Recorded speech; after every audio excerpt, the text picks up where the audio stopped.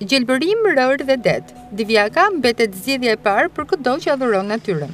Një tablo e cila plotësohet më së miri nga ushqimi cilësor dhe një gotë verë. Restorant Lila është i njohur në zonë. Pronari i tij, Ilirian Duda, që ka ngritur këtë aktivitet tregtar prej 21 vitesh, thotë se këtu ofrohet për klientët siguri dhe garanci. Prodhimet më të preferuara janë ato të lagunës. Në restorantin tonë kemi tradicionalet e zonës, lagunës së Divjakës, si peshku, ngjallën, karkalecin e detit, kënetës, mishin e gicit, të fermave që kemi në fshatat rreth e qark. Edhe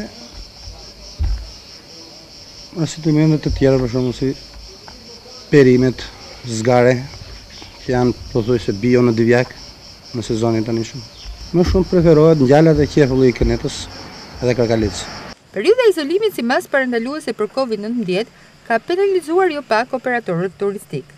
Edhe në këtë biznes familjar, aktiviteti ka rënë ndjeshëm, megjithëse çmimet janë ulur, ndërsa po zbatohet me përpikmëri protokolli i sigurisë. Puna sivjet për momentin, krahasuar me vitin e kaluar është në rënie, gati gjashtëdhjetë deri shtatëdhjetë për qind, për shkak të Covid, koronavirusit. Çmimet pothuajse janë në rënie, të paktën njëzet për qind nga sezoni i kaluar.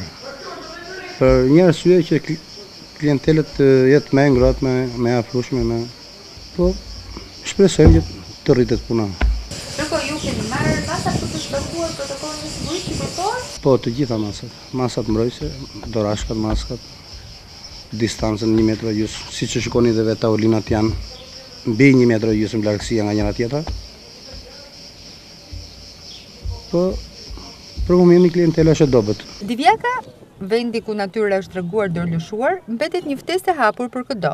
Ndaj, edhe Iliriani ju fton të kaloni një ditë të paharruar mes gjelbërimit dhe ushqimit cilësor të zonës.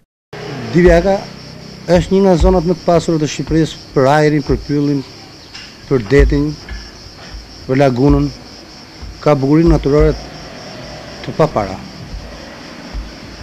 Pelikanin kaçurrel, edhe shumë shpezë të tjera që Po të dalësh në mëngjes në xhiro në Divjakë, kënaqesh vetëm me me bukurinë natyrore një. Pastaj ushqimi që vjen super i freskët. E ka bë, e ka bë zoti pyll, det, mal. Të gjitha bukuritë që ekzistojnë.